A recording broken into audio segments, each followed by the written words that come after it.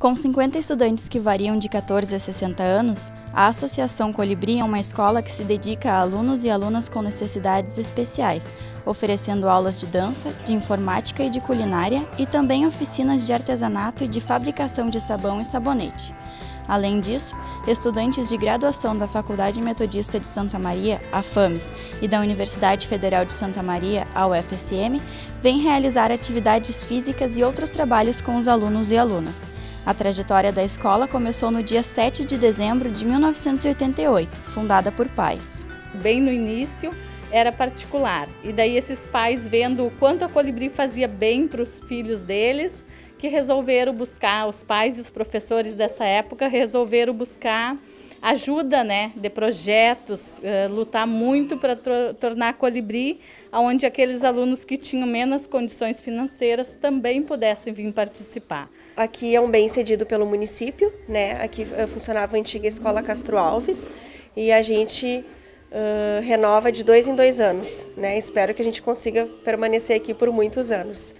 Uh, e a gente está em reforma, porque esse prédio era, era um prédio bem. estava em mau estado de conservação e aos poucos a gente está conseguindo reformar. Né? O nosso laboratório de informática, por exemplo, está passando por reformas. Os computadores estavam todos estragados, a gente mandou para reforma, mandamos fazer as bancadas e a gente está com falta de tomada agora para poder ligar os computadores, né?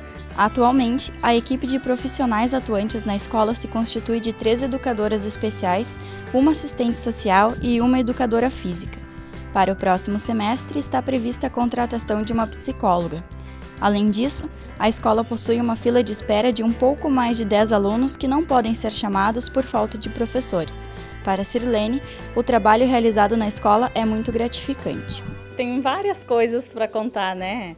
É abraço que a gente ganha sincero, beijo, carinho, né, o olhar deles, enfim, é, cada dia de trabalhar na Colibri é muito especial, muito, não tem preço, é muito bom.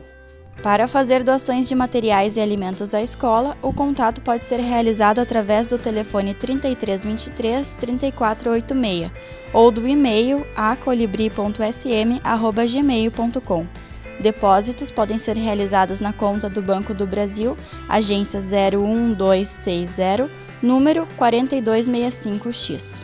O que a gente mais busca é doação de alimentos, né?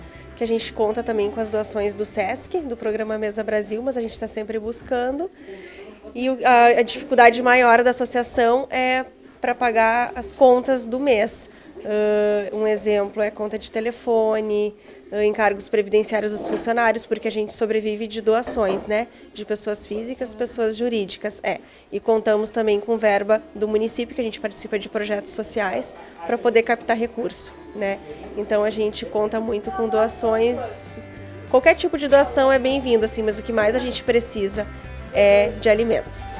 E quando o assunto é festa, os alunos ajudam com a decoração, com as comidas e com os demais preparativos. Aprende fazendo, convivendo e comendo as coisas, né? A gente já faz, já come, né, pessoal? A gente já faz aqui, é assim que funciona a colibri. A Nena, a Nena é boa. É.